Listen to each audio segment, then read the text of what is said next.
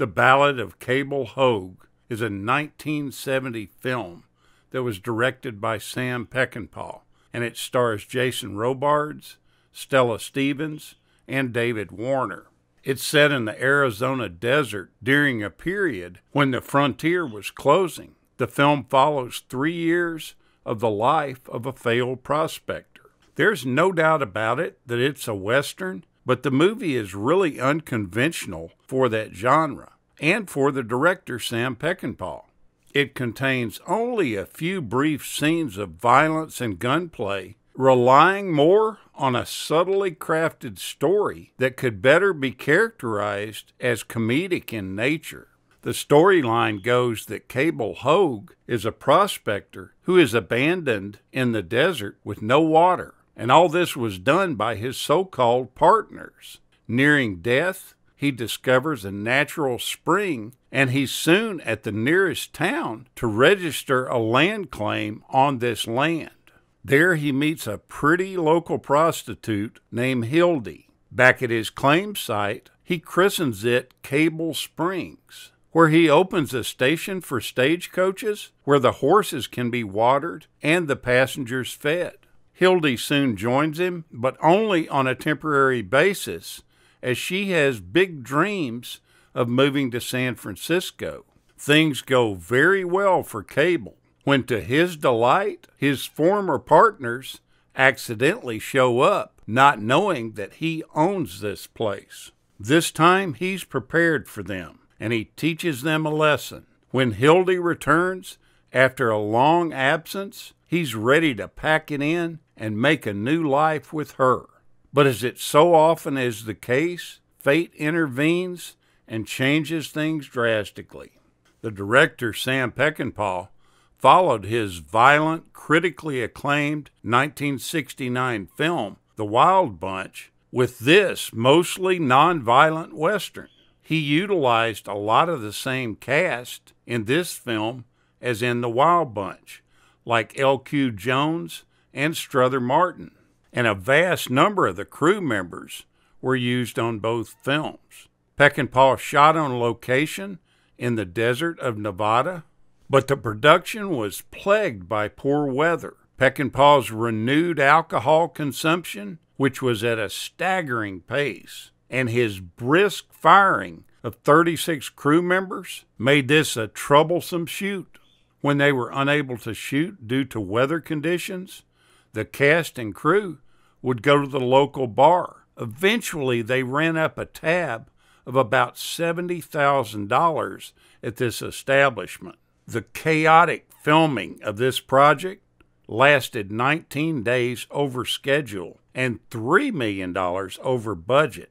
And this basically terminated Peckinpah's relationship with Warner Brothers, effectively damaging his movie career beyond repair. His alienation by the studio left him with very limited number of directing jobs. Even though this guy was so talented, it was unbelievable. He was just a terrible person to work with and to be a part of a film that he was directing. He was just out of control. His drinking was so bad that he couldn't get along with anybody. He was forced to do a complete turnaround after this film and travel to England to direct Straw Dogs from 1971. The soundtrack of the movie and its original score was by Jerry Goldsmith, and the songs were by Richard Gillis. The soundtrack to the movie is unbelievable. It's one of the best of this time period. Each of the main characters has a theme. Hogue's song is Tomorrow is the Song I Sing.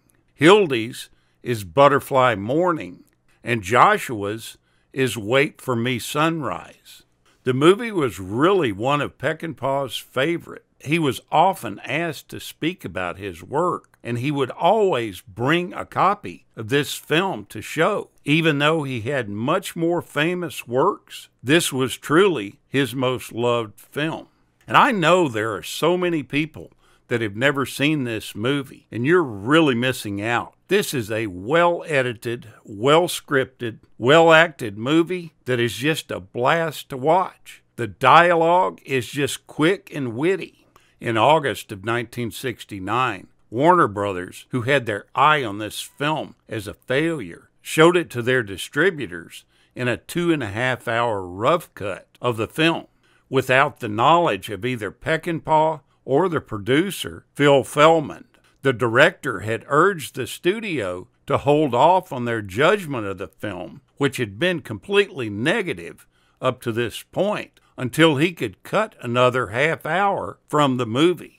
The studio allowed him to do this, but they did this more out of apathy than for respect for his talent.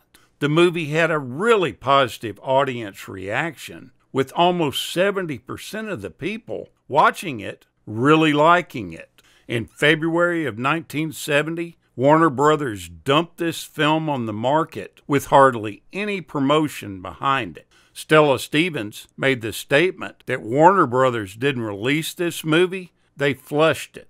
And I have to agree with this. This movie would have done well had they promoted it. Stella Stevens was always Sam Peckinpah's first choice for the role of Hildy, and he reassured her even when Stevens doubted herself as being right for the part. As Stevens and the producers clashed over money and billing, executive producer Feldman looked at Joanne Woodward as a possible replacement. But she wanted way too much money for this part, so Stevens went ahead and got it. Now, David Warner, who plays the fake preacher, suffers from vertigo, and he had a panic attack before he was scheduled to fly out to the set. Although they had never met, this English actor was Sam Peckinpah's first choice to be cast in this role, and he was going to do whatever he had to do to get him here. He arranged for him to sail to America, even though that meant holding up his scenes for three weeks. The English actor deeply appreciated this, and they made two more films together, that being Straw Dogs and Cross of Iron. Stella Stevens said in a 2004 interview that she adored working with Jason Robards, but she said working with David Warner was a bit strange. He had just come over from England, and it was his first big film in the United States. Now, Stella Stevens once said that the director was not a great comedic director, but I have a tendency to disagree. This film is funny. And Peckinpah looked at this as a comedy. She argued with him about this, saying that this is not a comedy. The hero dies at the end. This is a love story, and that it may have some funny stuff in it, but it's not a true comedy. Stevens said that she loved the director and thought he was excellent at his job, but he was really tough to put up with. Alcohol was driving his life, and he was a bitter man knowing how talented he was and not being appreciated by the studios had taken its toll on him. The more this went on, the more he drank and the worse it got. She described working with him as if you were working with a wounded rattlesnake. His personality was so very volatile, you never knew whether he was going to love you or hate you. He constantly hid behind dark, or mirrored sunglasses and mumbled when he spoke on set. So you'd have to get right up to his face to hear what he was directing you to do. He did about everything possible to drive an actor crazy. Now, the scene where Stella Stevens is first introduced to audiences is just a classic, and it gives you some insight into what the rest of the film is going to be like. Cable Hogue is so taken back by her beauty and her buxom shape, he loses his train of thought completely. He forgets what he's there for. The interaction between these two is classic, and it really does set the tone for the entire movie. Stella Stevens is just gorgeous in her role as Hildy. But as of the date of this recording, she's confined to an Alzheimer unit in California. It's so sad to think about this beautiful lady that was so talented now being affected by this disease. If you've never seen this movie, do yourself a favor and watch it. You'll love it. It's really well done. Thank you so much for watching, and we'll continue to chase the classics.